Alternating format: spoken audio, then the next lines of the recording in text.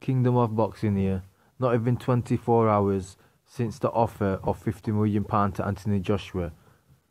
Deontay Wilder and his team have been exposed. They're talking rubbish.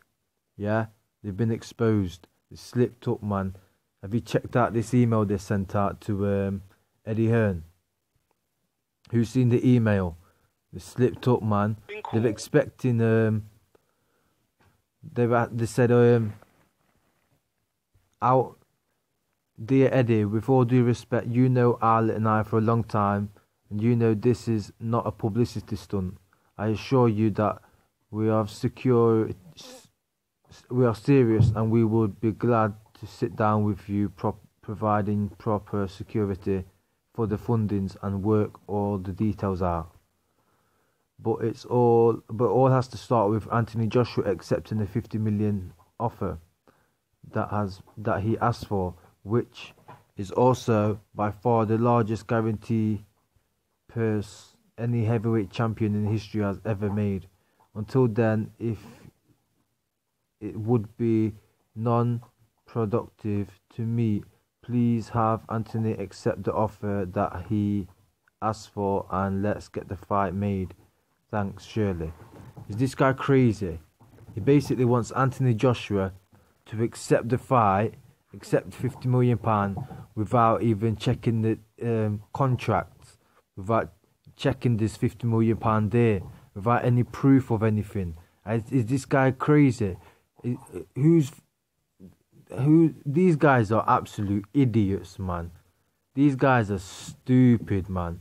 These guys aren't on our level at all. This is daft. Exposed, man. Exposed. Smells like smells like garbage. Chuck this rubbish in the bin. Yeah. Deontay Wilder is actually. I wasn't sure, but this this is proof. Deontay Wilder is shook. They're using AJ's name to get somewhere. This is absolute garbage, man. How you gonna act? That's not how you make fights.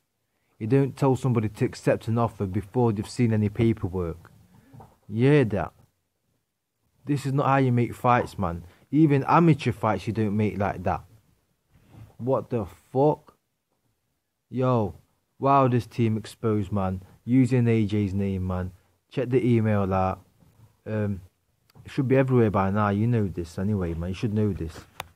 But I'm telling you straight, man. Mans are exposed out here. I don't want to hear no excuses no more. This guy's an absolute fucking fraud, yeah.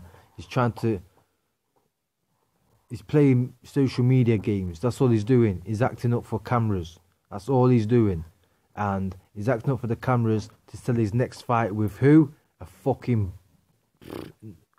Can't say bum, but you know terrible. Should somebody shouldn't be fucking getting a title shot right now. A lot more better people that should be, deserve it. Like D- Dillian Whyte. I can't even. I can't be bothered with this shit, man. Kingdom of Boxing, man. Let's keep.